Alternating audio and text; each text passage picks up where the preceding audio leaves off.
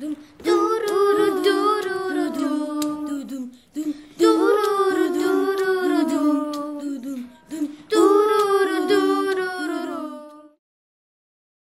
ახლა კი სუპერ ექსკლუზიური ახალი ამოდგენდები ჩემი კოლეგის ფენიქსის გრძელვადიანი გამოძიების შემდეგ საბოლოო დადგინა საქმე. მაიკლ ჯექსონის წარმომავლობის შესახებ. ბარათესიელი რუსეთის 50 էի մայից րոպեներ առաջ խոստովանել է, որ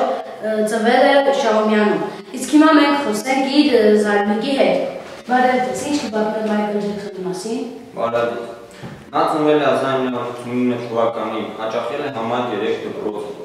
Նրանք միգանության համար դուրս արեց դպրոցի դասանից։ Նա ուներ շատ լավ ձայն եւ սկսեց երկեր հասանիքներում։ Դրանից հետո նա մեկնեց Ռուսաստան, Այնտեղ ծանոթացավ մի մեծ հարուստի հետ, որն էլ իրեն օգնեց մտնել շոու բիզնես, եւ այդպես նա դարձավ շատ հայտնի։ Նա իր կտակի մեջ գրել է, որ իր կարողության 30%-ը փոխանցել է Շահումյանի հաշվին, որից 5 միլիոնը ճանապարհներ պիտի ասֆալտապատեն, իսկ մնացածը պետք է խանութների պարտքեր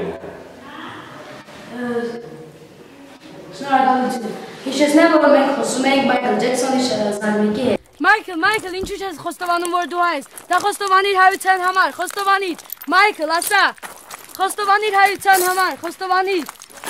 Ինչու չես ասում, համանչում ես, մի համանչի, ասա։ Խոստովանիր։ Yes, I am Armenian. Բայց ոչ մեկի չասես։ Այս կախտատուան Կავկասուս սախալի ամրոպի, դա չի չուեն թաներթատ, կիսուրապ ծարմատևես։ Դուրուրը